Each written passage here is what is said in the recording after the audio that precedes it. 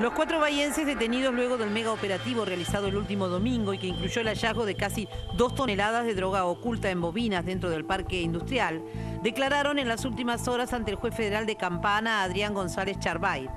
Todos ellos, los hermanos Leandro Gastón y Juan Guay y Damián Limansky, quedaron imputados del delito de contrabando de estupefacientes en grado de tentativa, en concurso ideal con tráfico de estupefacientes, en la modalidad de almacenamiento agravado.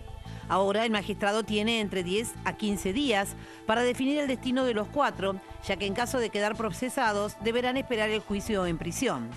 De todos modos, el doctor Juan Sartori, abogado defensor de los hermanos Wash, presentó esta mañana en el juzgado del doctor González Charbay un escrito solicitando la exhibición de prisión y la falta de méritos para sus tres defendidos. El magistrado tiene ahora 24 horas, que puede prorrogar, para decidir si acepta la petición de Sartori, con lo cual los empresarios quedarían en libertad. Además, adjuntó una serie de pruebas que demostrarían que los hermanos están ajenos a la mega causa y que tendrán que ser analizadas ahora por el juez. En tanto, el despachante de aduana, Damián Limansky, es asistido por la defensora oficial del Departamento Judicial de Campana.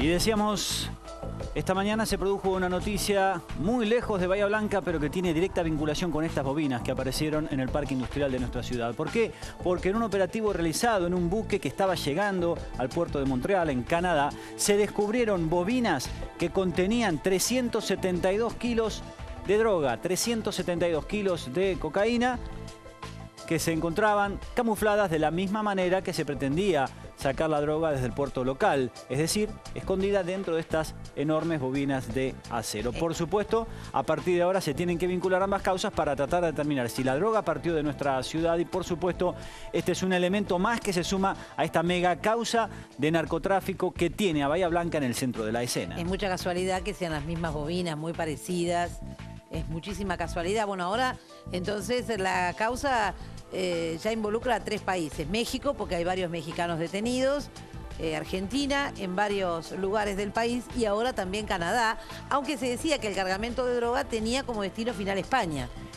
Son al menos dos de los destinos que se mencionaron en la investigación. Canadá por un lado, España por el otro, por tal motivo se han redoblado los controles de barcos que llegan desde nuestro país y especialmente todo lo que tiene que ver con bobinas de acero, hoy por hoy es motivo de investigación.